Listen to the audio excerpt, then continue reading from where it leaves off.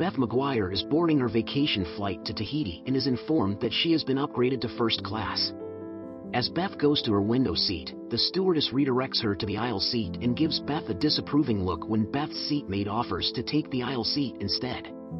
The captain personally reminds her to fasten her seatbelt which confuses her seatmate, as he did not see or hear the captain. Beth becomes anxious after she notices people all around her are flashing her odd smiles.